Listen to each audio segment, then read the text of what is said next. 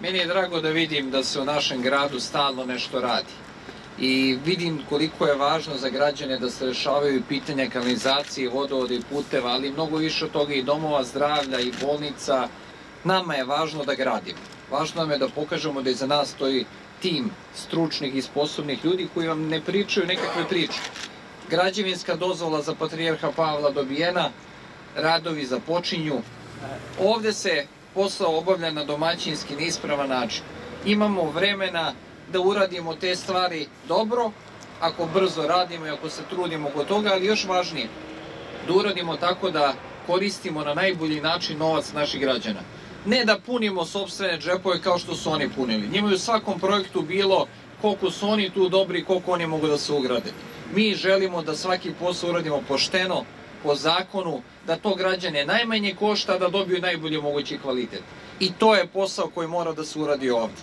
Rakovica mora da se poveže sa čitavim gradom, mora da se poveže sa Novim Beogradom, morate da imate normalnu saobraćajnicu, meni je to važno zbog bezbednosti saobraćaja i zbog naše dece, imamo saobraćajnicu koja može bezbedno da se vozi, ovde ima već Rakovica se i povećala, Beograd se povećao, imate veliki i opterećen saobraćaj ovom delu grada i mi moramo da radimo na tome da se grad prilagođava sve većim potrebama svojih građana.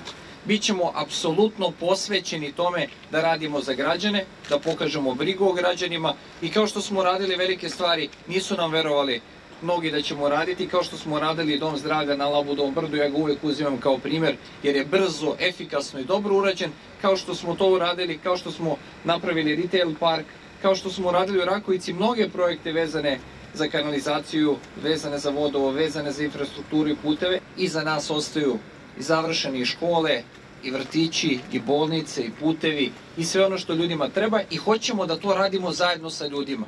Nas interesuje da pitamo građane šta je to što je prioritet.